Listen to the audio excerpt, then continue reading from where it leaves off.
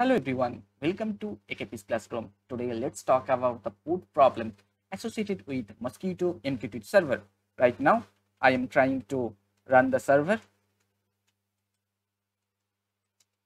Now errors are coming and I am unable to start the Mosquitto server. Now what is the particular error? It's related to the port 1883. So this is the error coming from Mosquitto server and the problem related to the port 1883 fine. So two variants are there ipv4 ipv6 and in both the cases uh, the port is allocated to uh, another application. That's why mqtt mosquitto server unable to get the port. So that's the problem. Now we have to fix the problem. Fine. Uh, for that we have to find out what are the applications running on port 1883 after that we can kill those processes and we can free the port.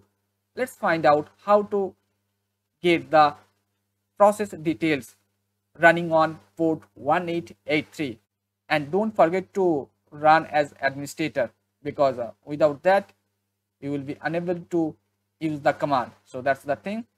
Next i am going to uh, execute the command. To find out all the applications running on port 1883 so this is the command i am going to execute right now. And yes.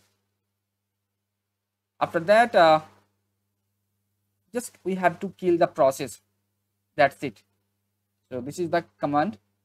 And yeah so two processes are running on port number 1883 so that's that thing. So that's why uh, mqtt mosquitto server unable to get the port 1883. Now, what is the process ID? Here 4136 is the process ID. Now, next what I have to do? I have to kill the process 4136 to free the port 1883. After that, we can run mosquitto server on 1883. To kill the process, we have to use the command task kill. Let's uh, copy the command first and execute the command in command prompt. Now, uh, right now we have to change the process ID that uh, we have to modify right now.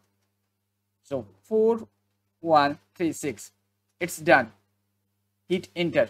Now, the process with PID 4136 has been terminated and now port 1883 is free how to check that one?